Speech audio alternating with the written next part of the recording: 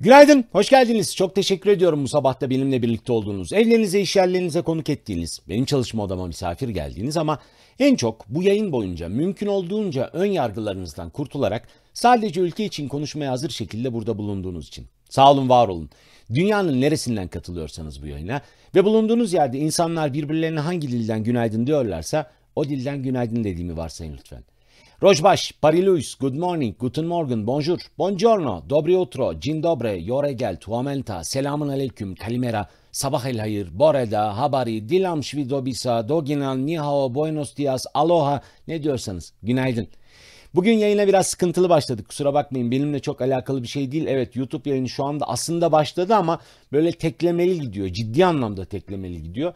Sanırım yani benden kaynaklanan bir hata olduğunu düşünmüyorum ama hakikaten yapabilecek bir şey yok. En kötü ihtimalle buradaki kaydı zaten bir şekilde orada kullanacağız. Merak etmeyin. En kötü ihtimalle böyle olur. Periskop üzerinden izlersiniz. Diğerlerinde de devam ederiz. Evet YouTube'da dur kalklı bir yayın. Dediğim gibi hani benlik bir şey değil. Ee, yayının gecikme nedeni de odur zaten. Yayını aşağıdan paylaşır mısınız 3 noktaya dokunarak Periskop ve Skop izleyicileri? YouTube'da belli ki böyle teklemeli gideceğiz çünkü. Ben de bir yandan sosyal medya üzerinden paylaşayım ki diğer dostlar da gelsin. Onlarla birlikte hep birlikte oturalım konuşalım ne olup bittiğini. Çünkü bugün konuşacağımız şey gerçekten önemli bir şey. Neden önemli? Şundan dolayı önemli. Son 18 yılımızı özetleyecek bir olay yaşadık biz. Aslına bakarsanız her sabah kalktıktan sonra hepiniz aynı şeyi hissediyorsunuz mutlaka. Gördüğünüz olaylar karşısında oho bunu daha önce yaşadık da diyorsunuz. Yanından dönüp oho artık bu kadar olmaz da diyorsunuz değil mi? Hafta sonuna şöyle girdik biz. Eski Maliye Bakanı ki eski Maliye Bakanı demek aslında çok yanlış olur. Adalet ve Kalkınma Partisi'nin 58. hükümeti kurulduğu andan itibaren Maliye Bakanlığı'nı yapan ve paranın bütün dümeninin idaresinin e, eline teslim edildiği Kemal Unakıtan'ın, rahmetli Kemal Unakıtan'ın eşi Ahsen Unakıtan hafta sonuna feryat figan girdi. Gerekçesi şu, İstanbul'da Küçük Çamlıca'daki villalarından bir tanesi villalarından bir tanesi dikkatinizi çekiyorum. Üç villadan bir tanesi e, kaçak kat çıkıldığı gerekçesiyle yıkıldı. Daha doğrusu belediye ekipleri, Üsküdar Belediyesi ekipleri dediler ki biz bunu yıkacağız. Yıkacağız yani yapacak bir şey yok. Neden? Asya'nın bakılırsa aslında belediye onların üzerine gidiyordu. Ama Üsküdar Belediyesi'nin yaptığı açıklamadan anladık ki tacilat yapacağım diye başlayan bir çalışma villaya kaçak kat yapılmasıyla sonuçlanmış. 3 villadan bir tanesini. Bu olay emin olun bu bir abartı değil. Yaşadığımız son 18 yılın özetidir işte. Çünkü sadece bununla kalmadı. Orada yaşanan şey aynı zamanda Adalet ve Kalkınma Partisi iktidarının geçilen 18 sene boyunca kendi içinden de yemeye başlamasının göstergesi. İstedim ki bugün biraz Kemal Ünak'tan özelinde konuşalım. Kim bu dönemde neler kazandı, neler yaşadı, nelere sahip oldu, ondan sonra başına neler geldi. Hepsini birden görelim. Tamam YouTube'da yayın yok arkadaşlar. Benden kaynaklanan bir şey değil. 10 dakika boyunca uğraştım. Olmadığı zaman da artık mecbur bırakacağız zaten. Yapılabilecek pek bir şey kalmadı orayla ilgili olarak. Mecbur değil. Yani mecburen yayın böyle teklemeli gidecek. Kemal Ünlük'ten 57. Cumhuriyet Hükümeti yıkıldığında ben size biraz şahitliğimle anlatayım da her zaman yaptığımız gibi aklınızın bir kenarında kalsın. 57. Cumhuriyet Hükümeti ki hatırlayacaksınız bir koalisyondu, bir ortaklıktı. Anavatan Partisi, Milliyetçi Hareket Partisi her zaman olduğu gibi Devlet Bahçeli ve Demokratik Sol Parti'nin birlikte yaptığı bir organizasyondan bahsediyoruz. Sıkıntılı bir hükümetti. Hepimizin hatırladığı, hepimizin artık hafızasında bir şekliyle yer etmiş olan o meşhur Milli Güvenlik Kurulu hadisesi yaşandıktan sonra yani dönemin Cumhurbaşkanı Ahmet Necdet Sezer'in merhum Başbakan Bülent Ecevit'e bu anayasa kitapçığında öyle yazmıyor diyerek masaya anayasa kitapçığını fırlatması zaten yıkılmak üzere olan ve ekonomik krizinde coşkulu bahanesi olduğu 57. hükümet çatlamış ve Türkiye'de bu çatlamanın ardından yaşanan büyük ekonomik kriz herkesi can evinden bulmuştu, vurmuştu. Neden? Çünkü zaten para yoktu. Ne kadar benziyor dikkat edin. Zaten para yoktu. 5 kuruş para kalmamıştı. Ama bunun dışında, bunun yanında büyük yolsuzluk iddiaları konuşuluyor Türkiye'de.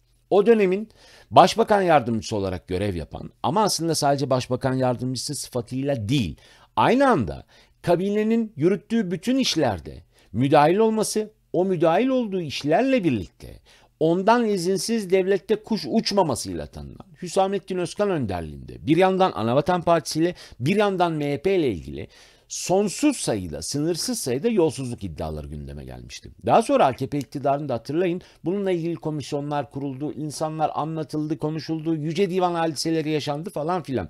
Ama asıl olan bizim elimizde kalan Kemal Unakıtan'ın başkanlığında o oluşturulan yeni mali yapının içinde eskiye ilişkin her şeyin terk edildiği gerçeği. Neydi o? Size bu yayında anlattım. Hatırlıyor musunuz? 57. hükümetle birlikte yani 3 Kasım 2002'de resmen yeni bir iktidara devredilen kabineyle birlikte biz görev zararı denilen tanımın sonuna geldiğini duymuştuk. Adalet ve Kalkınma Partisi iktidara geldiğinde dedi ki Bundan sonra görev zararı olmayacak. Yani kamu bankaları birileri için, siyaset için, iktidar için takır takır para harcadıktan sonra çıkıp ya kusura bakmayın bu para da gitti ama yapacak bir şey yok artık. Yıl sonu itibariyle hepinize ama hepinize bunu dağıttık. Herkesin borcu şu kadar hesabı ödeyelim yeni kartları dağıtacağız. Bu mantıktan vazgeçeceğiz dedi. Çünkü kamu bankalarının kontrolü çok daha fazla gerekti. Yaşanan bankacılık krizinin ardından 2001 büyük krizin ardından Türkiye çok daha sağlam, çok daha istikrarlı bir yapıya kavuşmak zorunda. Oysa bu çok büyük bir yalandı çünkü devam eden bir istikrar programı vardı zaten. O istikrar programı tam da 57. hükümet döneminde bir kurtarıcı hatta tırnak içinde bir peygamber edasıyla Türkiye'ye getirilen Kemal e, Kemal Derviş'in hazırladığı bir plandı. Onunla birlikte IMF planı uygulanmaya başlandı. AKP de ilk döneminde sadece ve sadece bunu uyguladı. Başka hiçbir şey yapmadı. Asıl isterseniz yapabilecek çok fazla bir şey de yoktu çünkü sözler verilmişti. Bir sürü taahhüt vardı ortada ve bu taahhütlerin içinde de AKP'nin elinde başka bir imkan yoktu. Uygulamaya başladılar. Ama bir yandan o plan uygulanırken bir yandan Adalet ve Kalkınma Partisi kendi kasasını doldurmaya başladı. Nasıl doldurmaya başladı? Paralar çalınarak çırpılarak mı? Hayır. Yeni bir ekonomik düzen oluşturularak. Size bir şey okumak istiyorum. Hani demin konuştuk ya, ya Kemal Ünak'tan dönemin ilk Maliye Bakanı. Bizim aklımızda hep tuhaf tuhaf işlerle, babalar gibi satarımla, satarım satacağım tabii kime soracağımlarla, Türkiye'de özelleştirme adı altında pek çok mali yapının, pek çok cumhuriyet yapısının aslında sağ sola dağıtılmasıyla kaldı. Hepimizin aklının içinde bu var. İşte çocukları için yapılan bir günlük hatta bir günde değil hafızam beni yan, yan, yanıltmıyorsa 9,5-10 saatlik bir kararnameyle Mısır ithalatının açılması ardından tekrar kapatılmasıyla birlikte sadece o dönemde Kemal Ünak'tanın çocukları üzerinden yapılabilen bir Mısır ithalatıyla kaldı. Bununla kalmadı. İşte likit yumurta denilen hikaye, hikaye girdi ortaya. Ama insanlar her zaman şunu söyledi. Yuh ya bu kadar da olmaz ki kardeşim. Sürekli ortada bir paranın döndüğü görülüyor ama insanlara, bu ülkenin insanlarına, vatandaşlarına 5 kuruş gelmedi bu paradan. Oysa yaşanan, o dönemde yaşanan bir zenginlik vardı. Neydi o zenginlik? Türkiye'de yeni bir iktidara bağlı yepyeni bir zengin sınıf ortaya çıkmaya başladı. Nasıl bir sınıf bu? Bu sınıfın temel özelliği mütedeyyin, tırnak içinde mütedeyyin olması, tırnak içinde mütedeyyin bu insanların aynı zamanda iktidarla göbek deliğinden bağlı şekilde harekette, harekete geçmesi. Onun dışında hiçbir şey yapmaması. Biz o dönemi sonradan işte tapelerde, meşhur tapelerde 2013 yılında 17-25 Aralık olayları yaşandıktan sonra gördük, anladık hepsini. Çünkü o konuşmalar ortalıkta yapılmıştı. Her şey çok açıktı. İnsanlar hiç kıvırmıyordu. Her şey net şekilde. Kimin kimden ne kadar para aldığı, kimin kime ne kadar borcu olduğu ama bunları yaparken din unsurunun nasıl kullanıldığını hep birlikte takır takır duyduk. Oysa insanların unuttuğu bir şey vardı o dönemde. Hiç kimse şu soruyu sormadı. Bir dakika ya, bir dakika. Burada ortada olan kişi, bugün de adını andığımız kişi, yani Maliye Bakanı nereden bu kadar para sahibi oldu? Yani Ahsen Unakıta'nın gösterdiği 3 villanın nasıl oluştuğuna ilişkin bir detay var mı elimizde? İstedim ki Kemal Unakıtan kimdir? Biraz onun üzerinden konuşalım. Çünkü baktığımız şey aynı zamanda AKP zihniyetinin de 18 yıldır ülkede neyi yerleştirdiğini gösterecek bize. Kemal Unakıtan 1946 doğumlu Edirne'de Domurcalı köyünde doğmuş bir insan. Devlet okullarında ilk ve orta öğrenimini tamamlıyor işte. 1968 yılında yani 24 yılında Ankara İktisadi ve Ticari İlimler Akademisi'nden Gazi Üniversitesi'ne bağlı bugün oradan mezun oluyor. Sonra Maliye Bakanlığı'na hesap uzmanı olarak giriyor. Tamam hesap uzmanı. Bir düşünün bakalım etrafınızda Maliye Bakanlığı'na hesap uzmanı olarak girmiş, kariyerinin büyük bölümünü orada tamamlamış başka insanlar var mı? Siyasetin içinde yaşayan insanlar aynı zamanda. Çünkü şunu kıyaslamak boynumuzun borcudur. Bir dakika ya. Hesap uzmanı pek çoğu benim sınıf arkadaşlarım. Bu dönemde hani tanınan bilinen hesap uzmanlarının pek çoğu. Heh bak Ertuğrul Bey söylüyor. Kemal Kılıçdaroğlu. Kemal Kılıçdaroğlu da benzeri bir e, hayat yaşayarak devlet okullarında oku- okuyarak işte e, Tunceli'nin bir köyünde doğduktan sonra devlet okullarında okuyarak aynı kariyeri yapıyor. Fakat Kemal Ünaklı'nın hayatı değişiyor.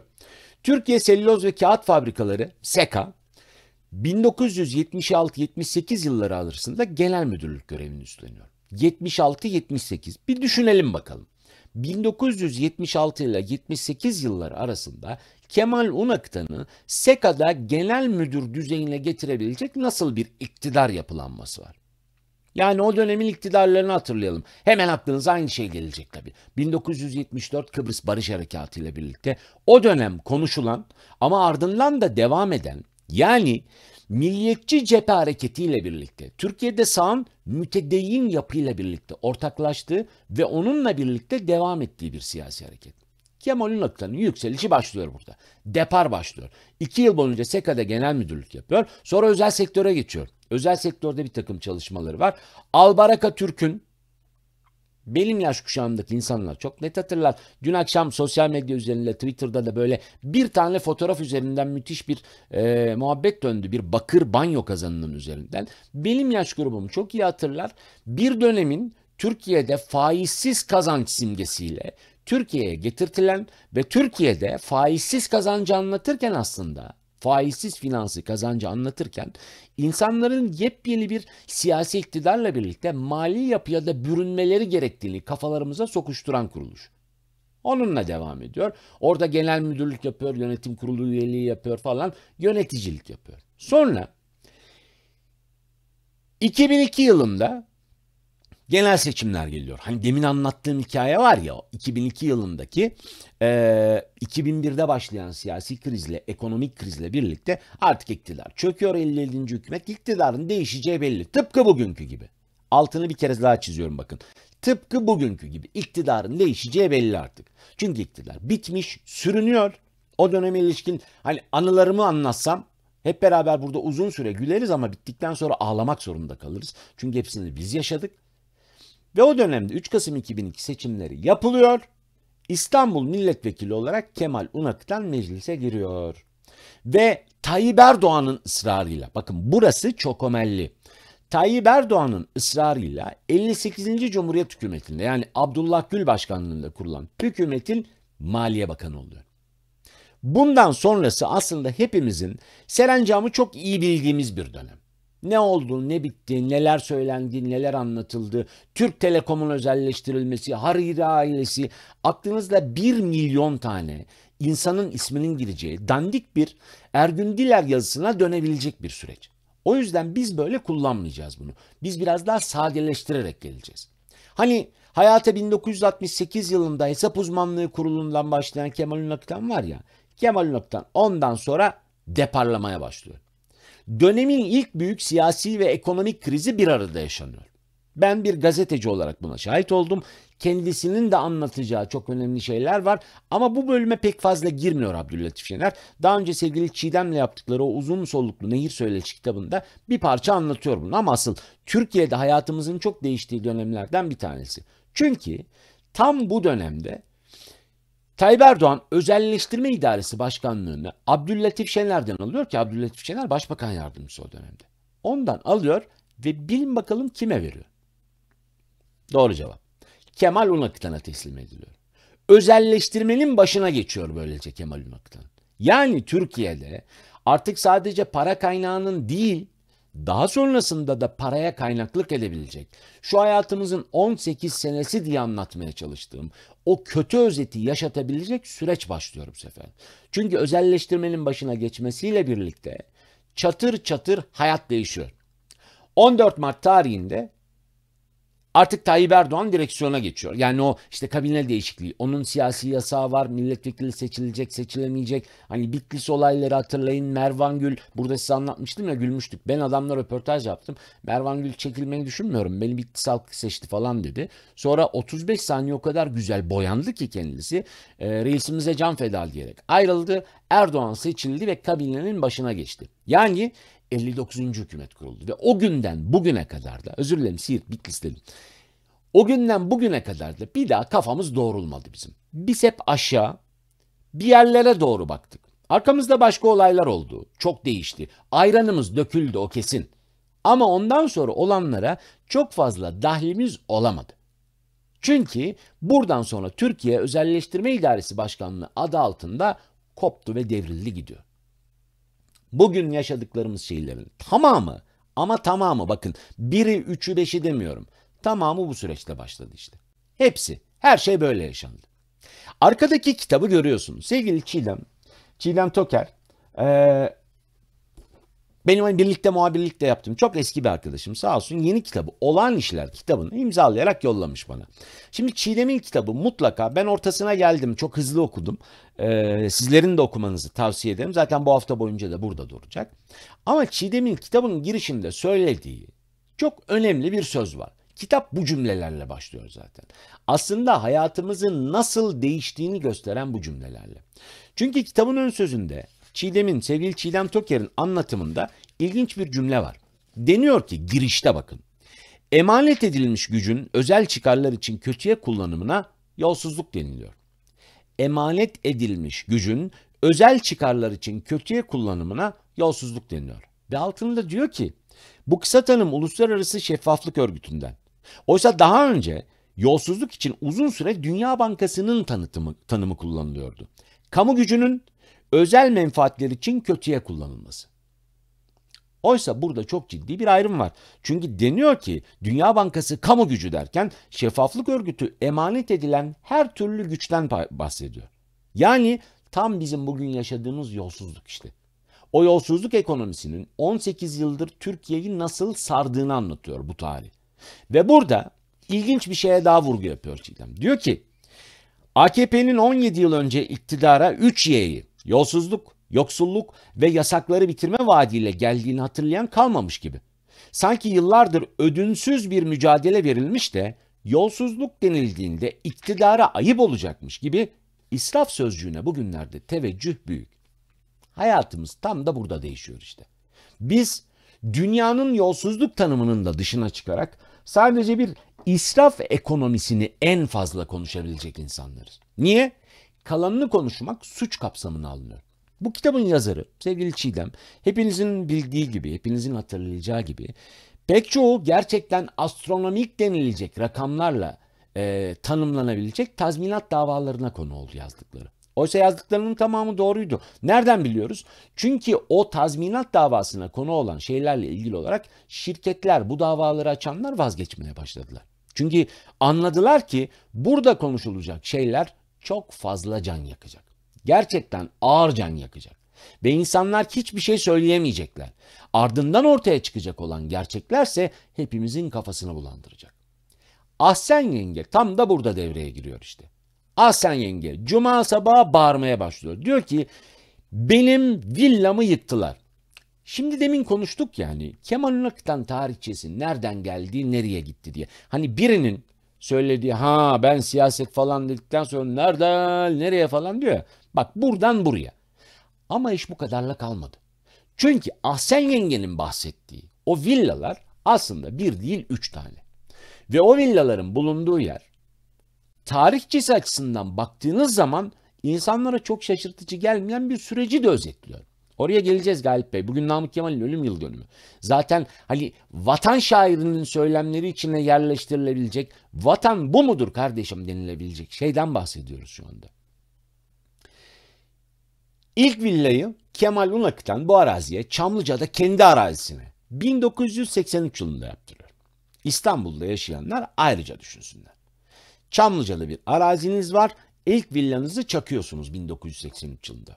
86 yılında ikinciyi çakıyorsunuz. Özür dilerim 88'de 98'de ikinciyi çakıyorsunuz. Ama tuhaf bir durum çıkıyor ortaya. 1998 yılında bunlar konuşulurken bölgenin aslında 1991 yılında sit alanı ilan edildiği ortaya çıkıyor. Sit alanı ilan edilmiş ama 8 sene sonra siz oraya ikinci villanızı kondurabiliyorsunuz. Allah'ın parmağı da var, sopası da var. Her zaman Yüce Rabbinize sorduğunuzda Cleveland demiyor size. Bir deprem yaşanıyor. Türkiye'de 35 bin insanın yani kimilerine göre 17.500 kimilerine göre 35 bin resmi olmayan kaynaklara göre 50 bin insanın hayatını yitirdiği Büyük Marmara depremi yaşanıyor 1999 yılında. Ve deprem yaşandıktan sonra villalar bakın gerekçesi çok önemli burası çok ömelli lütfen iyi dinleyin. İlk villa 17 Ağustos depreminde zarar görüyor. Oraya yaptırdığı ilk villa. Hani 83 yılında yaptırdığı var ya. Bir kısmı yıkılıyor villanın. İkinci villa deniyor ki bir dakika ya 91 yılında burada sit alanı ilan edilmiş. Senin burada villan olamaz ki. 2005 yılında onları da yıkıyorlar. 2006 yılında ve düşünün bilin bakalım hangi belediyenin izniyle oraya yeniden sit alanındaki araziye üstelik bu kadar bu sefer 3 villa yapılabilmesi için izin veriliyor. Belediyenin adını tahmin etmenizi rica edeceğim sizden.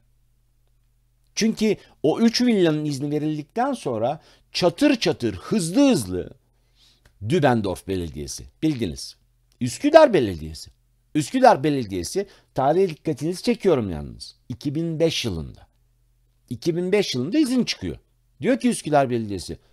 Kemal abi aşk olsun. İlk villa zaten depremde zarar görmüş yıkılmış. İkincisinde bir grup terbiyesiz. Çok özür diliyoruz. Gerçekten çok üzülerek söylüyorum. Hadleri olmadan yıkmışlar. Çok özür diliyorum. Sen iki değil üç yap abi. Ve Kemal Ünlük'ten bir yıl içinde üç villayı çakıyor ya. Üç villa. Tam üç villa. Ve biz bugün üzerinden bu kadar zaman geçmişken Ahsen yengenin çığlıklarıyla diyoruz ki Kemal Unakıtan'ın villasında tadilata izin verilmemiş. Ama dönem çok kötü bir dönem. Yani insanların ellerinde artık öyle cep telefonları var ki cep telefonunuzla çekebileceğiniz bir fotoğraf uzaktan atnalı gibi teleyle çekebileceğiniz fotoğrafla belki yarışamıyor. Ama ne olduğunu gösterebilecek kadar net görüntü veriyor size. Bu arada görüntüler çıkmaya başlıyor. Ahsen'in Aktan bir elinde akıllı telefonu, bir elinde bugün yayın başlığında da kullandığım fotoğrafla birlikte villasını götürüp diyor ki ya benim villamı yıktılar, benim evimi yıktılar kardeşim, evim barkım yıkıldı falan bağırıyor çağırıyor. Sonra diyor ki bu yaşananlara Cumhurbaşkanımız da seyirci kalmadı. Beni aradı ve geçmiş olsun ilgileneceğim dedi.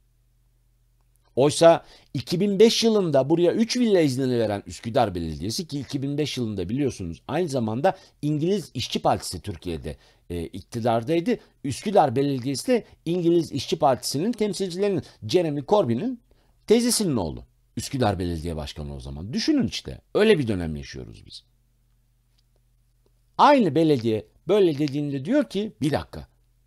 Cumhurbaşkanımız beni aradı ve dedi ki ya çok üzüldüm, duydum. Merak etme ben ilgileneceğim. Ama hafta sonunun içinde pazar gününe gelindiğinde çılank diye bir açıklama geliyor. Açıklamayı yapan Cumhurbaşkanlığı. Deniyor ki yo biz aramadık. Biz aramadık. Alakası yok. Bu olayın bizimle bir ilgisi de yok. 18 yılın özetinde tam zurnanın Z dediği hatta Z bemol sesini çıkarttığı noktaya geliyoruz burada. Satış bölümü başlıyor. Hani 2004'te yıkılan o villalar vardı ya takır takır. Yıkın bunları sit alanına yazmışsınız. Sittir burası hem de has sittir diye konuştuğumuz yer var ya en has sit. Onun alanında yıkılan villalar ikinci tur yıkıma başlanıyor. Ama bir takım fotoğraflar paylaşılıyor. Demin hatırlatmam boşa değil. Bu fotoğraflar cep telefonuyla çekilmiş fotoğraflar değil. Sosyal medyada dönmeye başlayan fotoğrafların tamamı profesyonel. Üstelik iktidar gazetelerinin tamamına bugün yansıyan fotoğraflar Üsküdar Belediyesi'nin eliyle dağıtılan bir haberle çıkıyor ortaya. Deniyor ki bir dakika kardeşim tadilat madilat yapmıyordu ki Ahsen Noktan. Bayağı bildiğin kaçak kat çıktı. Hatta bugün iktidar gazetelerinin göbek deliğinde duran, bakın göbek deliğinde duran gazete Hürriyet bir açıklama yapıyor. Hürriyet'in içinde deniyor ki Üsküdar Belediyesi'ne dayanarak. Çatıyı onarıyorum diyerek Boğaz'da yaptığı villaya kaçak kat çıkıyordu. Biz arka mahallelerde bakın Üsküdar Belediye Başkanı Hilmi Türkmen konuşuyor. Sonra işte İngiliz İşçi Partisi iktidarı kaybediyor Türkiye'de. Corbyn'in teyzesinin oğlunu mecburen şutluyoruz. Dolandırıcı çünkü. Bildiğin dolandırıcı. Onu şutluyoruz. Üsküdar Belediye Başkanı Hilmi Türkmen diyor ki Hürriyet gazetesine.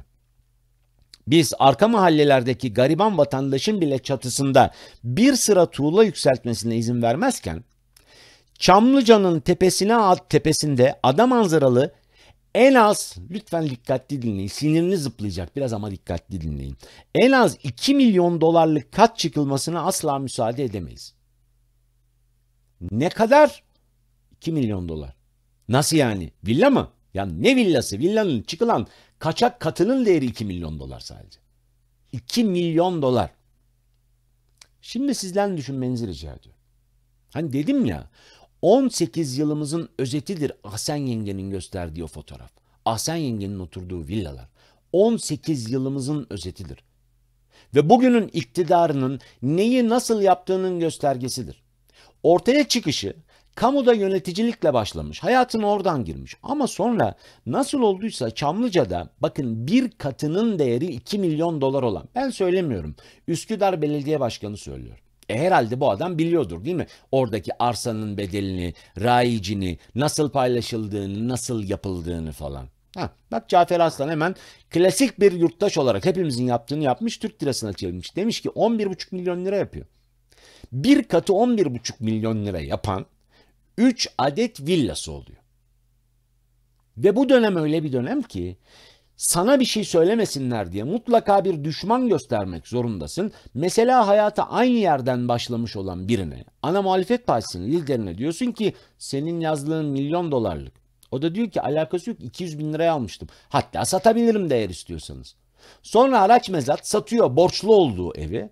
Ama bugüne kadar biz sürekli olarak onu konuşuyoruz. Kemal Ünlük'ten ve ailesini değil.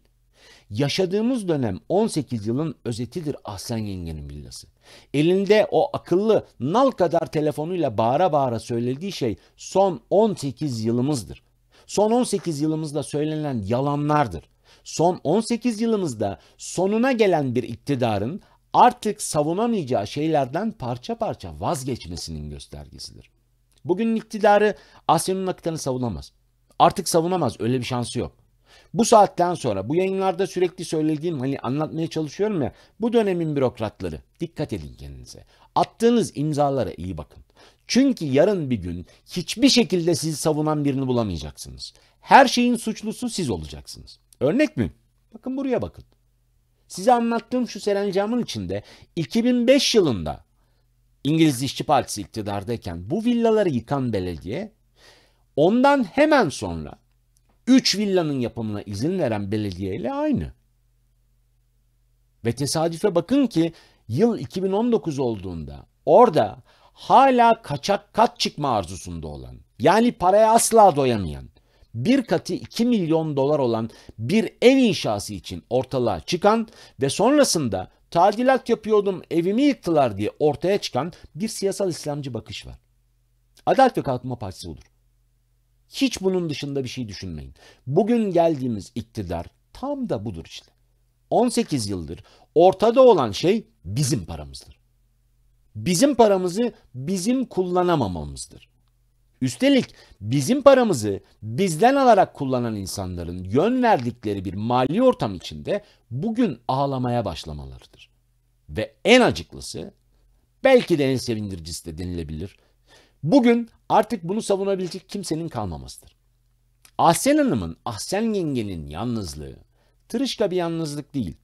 Emin olun Adalet ve Kalkınma Partisi'nin bugüne gelen iktidarında bu saatten sonra bu satışları çok göreceğiz biz. Çok. Bürokrat düzeyinde göreceğiz, geçmiş siyasiler açısından göreceğiz. Hepsini, hepsini ortada yaşayacağız. Çünkü artık bugünün iktidarının bunları taşıyabilme lüksü yok. Yok, öyle bir şansları yok. Bunu anlatamazsınız. Çünkü yenilenme zamanı geliyor. Demokrasi böyle bir şeydir. Sandığa gidersiniz, sandıkta insanlar oylarını verir, birilerini seçer, birilerini reddeder. Demokrasidir bu. Ve bugün artık bunların savunulabilecek bir yönü yok. Siyasal İslam'ın Türkiye'deki tıkanmasının gerekçesi nal gibi ortada. Hepimiz görüyoruz. Evet, bugünün adalet düzeninin içinde bunların hesapları sorulmuyor.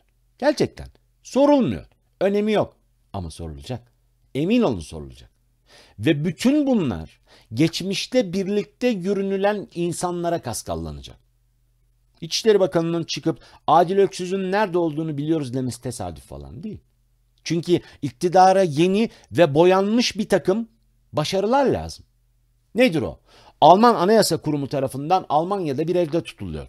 At yalanlardan bir tanesi. Bunu söyleyemem o kadarı bize kalsın. Hayır ya öyle değil. Orası bir magazin programı, dedikodu programı değil ki. Bu başarıların ard arda çıktığını göreceğiz. Bir temizlik aşamasına kendi açısından gelmiş durumda AKP. Şimdi bu temizliği yapacak. Mecbur. Başka çaresi yok. Çünkü bu insanları atacak ki asıl kirli bölüm görünmesin. Şunu söylemeyin bana. Ya asıl kirli bölüm diyorsun. Bu az kirli midir? Yo. Leş gibi kirlidir üstelik. Sadece o dönemin Mısır ithalatı ile ilgili yapılan şey Türkiye'de hayatın nasıl değiştiğinin göstergesidir. Çiğdemil kitabı bu anlamıyla önemlidir.